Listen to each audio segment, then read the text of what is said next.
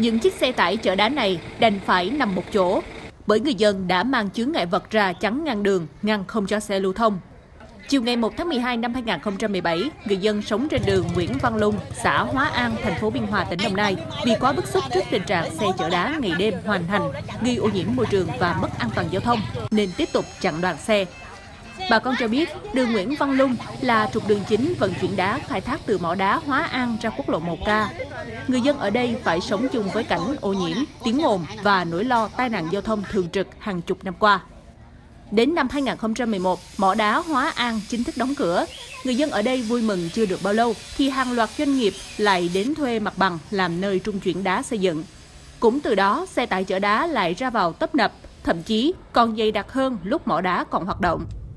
Trước đó, ngày 4 tháng 11, người dân nơi đây đã chặn đường phản đối. Ngay hôm sau, chính quyền xã Hóa An đã mời người dân và các doanh nghiệp lên đối thoại. Tại đây, các doanh nghiệp cam kết từ ngày 7 tháng 11 sẽ cho xe tưới nước rửa đường thường xuyên để hạn chế bụi, đồng thời hạn chế tốc độ khi lưu thông qua đây.